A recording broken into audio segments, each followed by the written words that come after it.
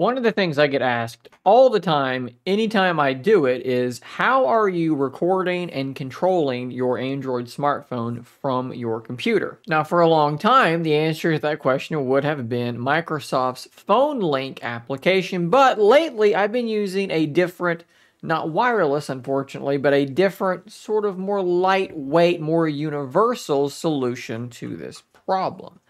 It is called I assume screen copy is what we're actually supposed to be calling it. I'm going to drop a link in the description down below to this, and I'm also going to show you how to get it up and running. It's actually really, really simple, and they've added some new features, which I'm going to test out in this very video. You're going to scroll down, and you're going to look for the version that's going to work for you. Probably just screen copy Win64 2.2.zip download that and then you should have a zip file which can be extracted and this is going to be what you have. If you don't know how to extract a zip file on Windows, you should be able to just to right click it and do extract to and then there's your folder. At this point on your phone of choice, and yes, I'm using screen copy right now, what you're gonna do is jump into your settings we're going to go down to the About Phone section, scroll all the way down to Build Number, click that a whole bunch of times until it says you are now a developer. Go back, go to System, and then look for Developer Options. Click on that, scroll down, and make sure that USB debugging is turned on. When you plug your phone into your computer, you should get a pop-up on your phone asking you to authorize USB debugging on that device. You can tick a box and say yes, that is absolutely fine. After that, this is really very, very simple because all you have to do is run the screencopy.exe.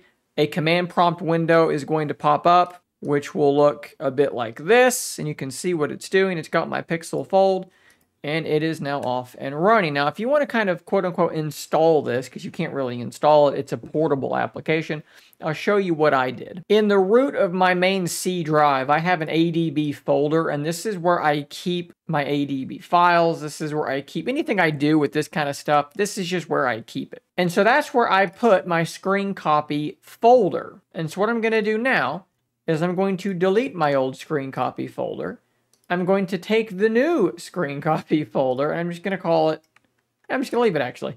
I'm going to do Control X to cut and Control V to paste. And then if I use the default uh, Windows File Explorer, the other one I was using is a third party one and evidently can't do this, we're going to just pin that to our start screen so that now it should pop up there. There you go. There is screen copy. So we're going to go and fire that up. And let's drag this back over. And we are now once again up and running. Let's resize this. Boom, done. So that's it. We are now installed. So what can you do with this? Well, you can control your phone. You can swipe up. You can scroll with your scroll wheel on your mouse. You can click and you can type things with your keyboard. Anything you want to do should work relatively well. But now there are some additional things they've added with this version. Personally, this is really all I wanted to do. I just want to have the screen on my computer screen, control with my mouse and keyboard. But again, let's look at some of the other new features. If we look here, we can see there's now camera capture. So you can run a command and actually begin recording the camera on the device. And to do this, we're going to double click on the open a terminal link. Let's go back to our picture in picture. We're going to type in this screen copy dash dash video source equals camera.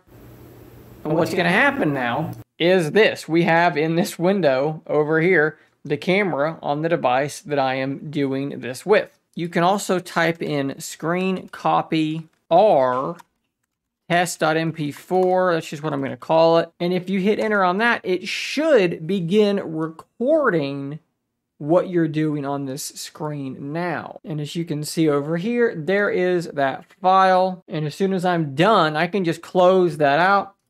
And if I fire up this video, there you go. There is that video recorded in nice beautiful quality. Now I mentioned in the beginning of this video that this was something you needed to plug your device in to use and that's not explicitly true. That is the easiest way to do it. You plug it in, fire up screen copy, double click it, and you're done. But there is a way to actually do this wirelessly as well. We're once again going to launch this open a terminal here dot .bat with your phone still plugged in. What you're going to run is screen copy minus minus TCPIP. And once this has done its thing, you should now be connected. At this point, you can unplug your phone and as you can see here, it is still working. It is now running this over Wi-Fi. For me, it's still probably simpler just plug it in, do what I need to do, control it from here, and unplug it when I'm done. But if you need to do it wirelessly, maybe you're gonna, you know, record a game or something like that, and you don't want to be plugged in while you're doing it, that makes this, you know, a pretty useful thing to do as well. Overall, for a free piece of software, this thing is absolutely fantastic. I use it all the time. Can't recommend it highly enough. So hopefully this was useful for some of you fine folk out there uh, watching this video. Subscribe for more content like this. I'll see you on the next one. And until next time, stay nerdy, my friends.